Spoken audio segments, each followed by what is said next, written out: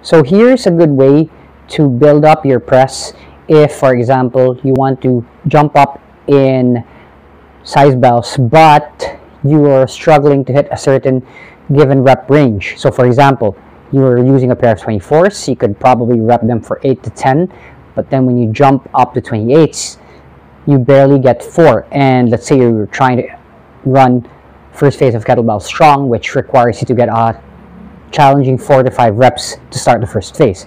So here's what you can do. You're going to use the pair of bells that you want to use for that given program. But rather than run, running it with a clean press, you're going to run it with a push press. So I'm going to show you the two variations that you're going to use. And each variation you're going to run the first phase of whatever program you choose for one cycle and then retest. And then you can go on to the second, uh, second cycle with the second variation and then retest. So let's get right into it. For the first version, you're going to use a push press. And then you are just going to catch the bells in the rack. Okay, one more time. Catch them in the rack.